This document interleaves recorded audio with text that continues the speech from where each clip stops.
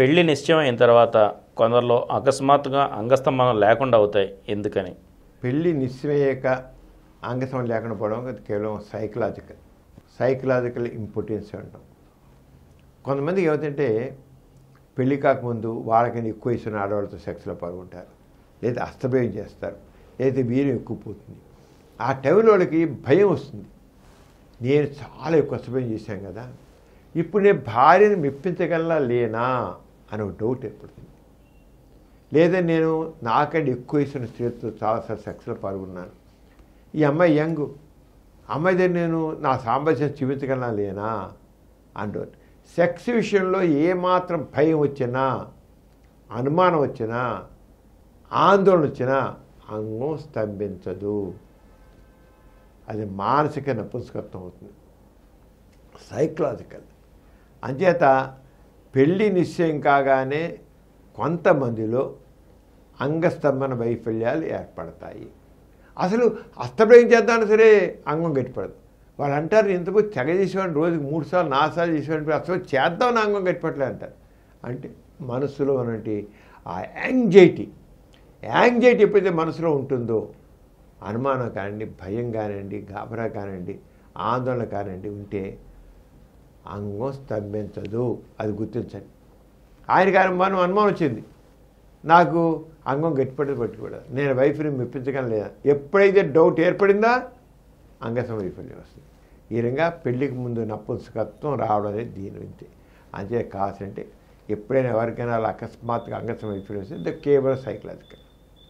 ఆ psychological doctor దగ్గరికి వెళ్ళి కొద్ది కౌన్సిలింగ్ సరైనటువంటి విజ్ఞానం కలిగించుకుంటే వాళ్ళకున్న భయాన్ని చెప్పి చేసుకుంటే మనసులో భయం చెప్పాలి. ఎందుకు అలా చెప్పాలి? నేను అసలు పని కనుక భయం ఇస్తానండి నేను ఇంకా నాకని ఎక్కువ ఇష్టం కలిసి భయం ఇస్తానండి అన్న విషయాన్ని తప్పకుండా డాక్టర్ అడుగుతారు అనుకోండి. కానీ చెప్పేస్తే ఆ వాటి ఏం లేదు. నిజంగా చెప్తున్నాను.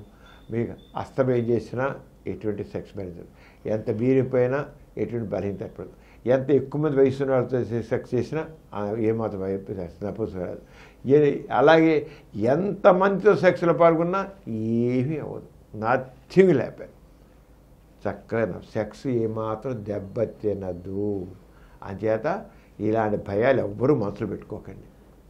అసలు నష్టం లేదు అంగపెరవని కొంతమంది నా అంగపెరవని చిన్నది. నా వైఫ్ని చేయగలను డౌట్ అప్పుడు వస్తున్నాడికి అంతకుముందు ఎంత అసలు అప్పుడు డౌట్ అర్థమవుతుంది. డౌట్ అంగాలగే వీ- వీర్యం పొడవు ఇవన్నీ అర్థం లేదు ఏమి లేదండి.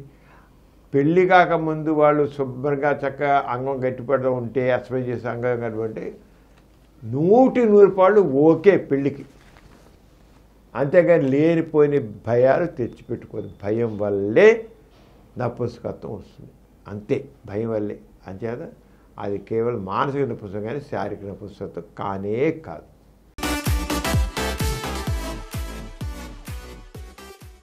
ఈ కార్యక్రమం మీకు ఎంతో నచ్చింది కదా?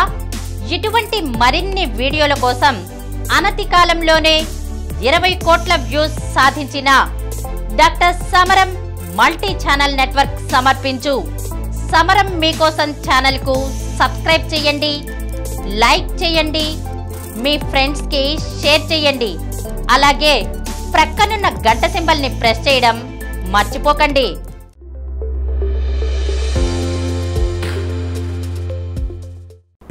Download Samaram multi-channel app and watch your favorite channels from your mobile. App available on Google Play Store and subscribe to the channels.